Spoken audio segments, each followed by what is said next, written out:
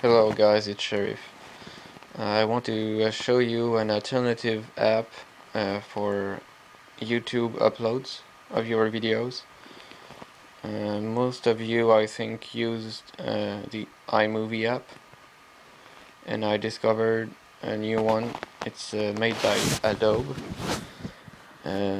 it's Adobe Video Bite. So when you open it it looks like uh, that. And you can select your video. And then uh, by typing the heart here you can select the best one the best part. Retap it. Okay. And in the settings what you want to do is uh, choose you can choose 1080p so it's better than the iMovie options. Uh, done. So you can add uh, special effects. Why do I have two videos? I don't know.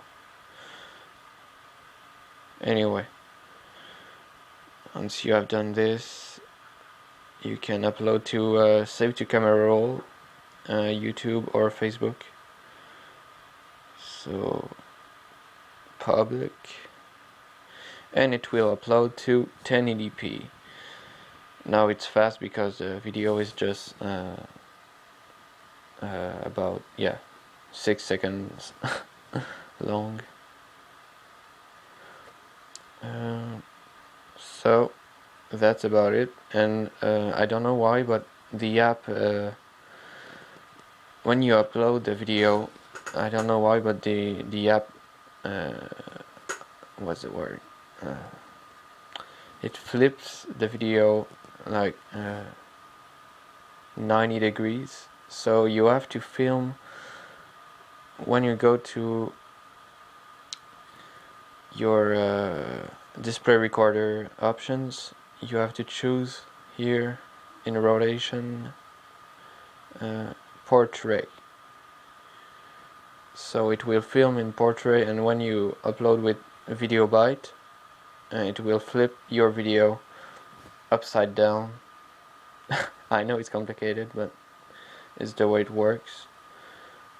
And uh, yeah it will upload to YouTube upside down then you can turn it back when you you make your uh, montage. So I hope it helps and uh, you can try it and give me feedbacks. Uh, I'm not sure if it's better than iMovie but uh, it's an option you can try so. And uh, Adobe is a good uh, brand and they make professional apps for uh, PC and Mac. Yeah. So try it out. Adobe Video Bite